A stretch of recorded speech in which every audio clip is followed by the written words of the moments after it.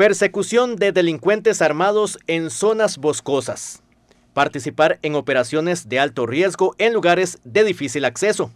Velar por la soberanía nacional y colaborar con las autoridades judiciales en allanamientos y otras diligencias riesgosas. Estas son tan solo algunas de las operaciones que realizan los cuerpos policiales de nuestro país, quienes cada vez se requieren una mayor especialización y profesionalismo frente al crimen organizado.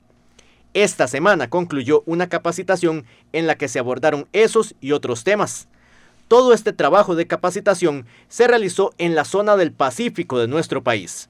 Durante el curso, el cual duró cuatro semanas, participaron nueve oficiales de la Policía de Fronteras, nueve de la Unidad Especial de Intervención y nueve del Servicio Nacional de Guardacostas.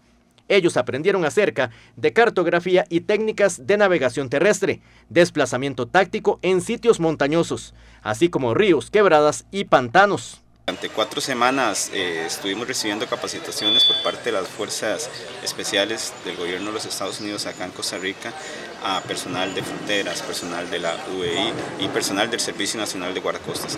Estuvimos desplazados en diferentes lugares del país y hoy se está llevando ya la finalización del curso acá en la Academia del Servicio Nacional de Guardacostas. Curso muy importante porque mejora las capacidades y entrenamiento de los funcionarios del servicio y de los cuerpos policiales inscritos al Ministerio de Seguridad y también porque nos da las capacidades para ampliar nuestro margen de operaciones en la parte terrestre, donde nuestro fuerte pues, principalmente es eh, la parte marítima, pero también este entrenamiento nos da las capacidades de tener eh, ampliar nuestras operaciones a la parte de, las costas, en el caso de tener una persecución o alguna operación en la que podamos participar en la lucha contra el narcotráfico y diferentes delitos.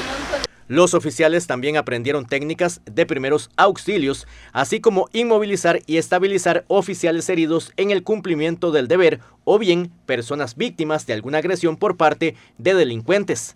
También reforzaron sus conocimientos en cuanto a técnicas para efectuar aprehensiones de una persona sospechosa de cometer algún delito.